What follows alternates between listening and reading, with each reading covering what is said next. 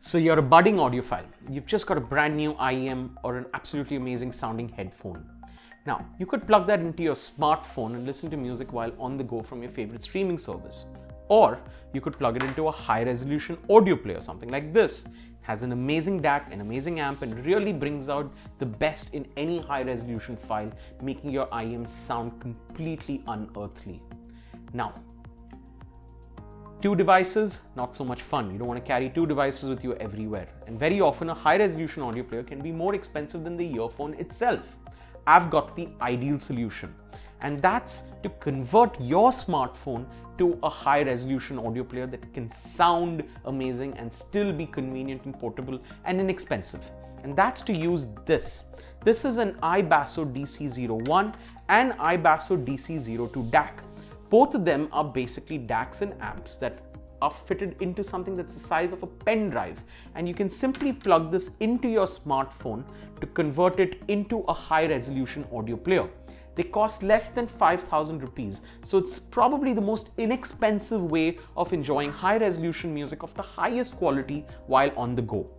Now, this device uses the battery from your smartphone to power up and serves as an amplifier. It also features the DACs, which are amongst the best sounding DACs on the market that are available on high resolution audio players several times the price and it's at a fraction of the cost.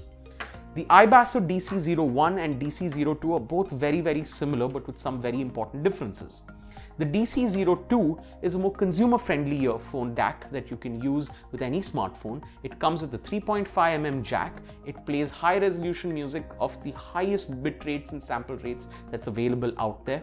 And it's got a very warm, laid-back sound signature. It's got an AKM 4490 DAC, so they should sound amazing on any headphone or IEM.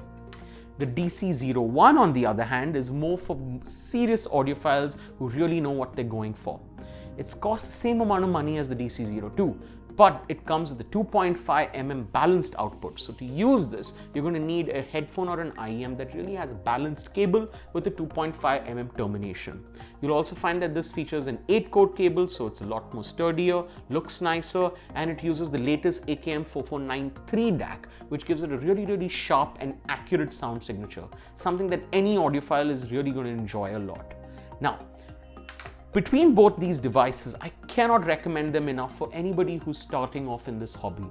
If you've got a earphone that has a balanced cable and a balanced 2.5mm termination, the DC01 is your ideal device to be able to bring out the absolute best of sound from this earphone.